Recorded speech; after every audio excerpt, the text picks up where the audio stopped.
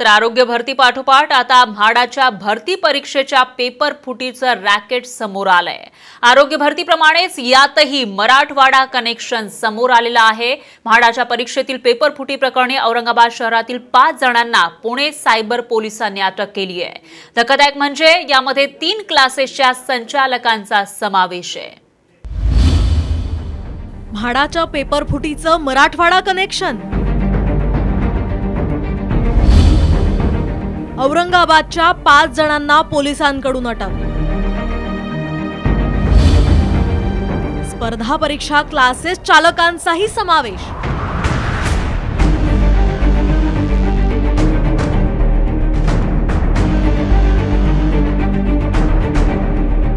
राज्यात म्हाडा भरती परीक्षेच्या पेपर फुटीचं प्रकरण समोर आल्यानंतर अनेक धक्कादायक खुलासे समोर येत आहेत.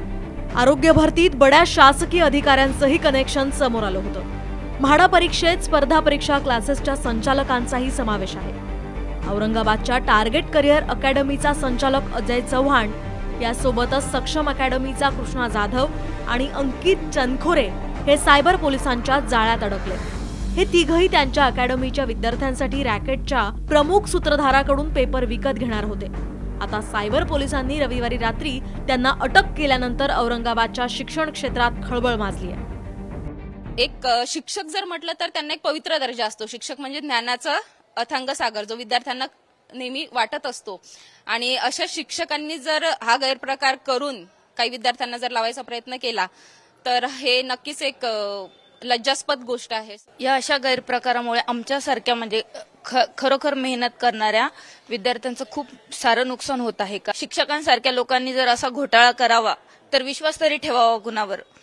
आरोपी अजय चव्हाण हा औरंगाबादेत स्पर्धा परीक्षेची तयारी करणाऱ्या विद्यार्थ्यांना अध्यापनाचं काम करतो. टीव्ही सेंटर परिसरात त्याचा द टार्गेट करिअर पॉइंट स्पर्धा परीक्षांचा क्लास आहे. तर दुसरे आरोपी कृष्णा जाधव आणि अंकित चनखोरे हे दोघं पैठण गेट परिसरात सक्षम स्पर्धा परीक्षा क्लास चालवतात.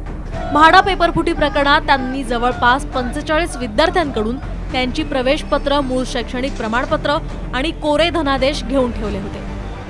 शहरातील वाढते क्लासेस आणि स्पर्धेमुळे भ्रष्टाचाराचा हा नवा मार्ग समोर आला शहरातील पाच जण राज्यस्तरीय घोटाळ्यात सहभागी असल्याचं देखील समोर आलं आणि शहरात खळबळ उडाली.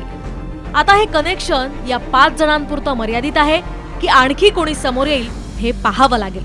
Madhav Savargave Saam TV news Aurangabad.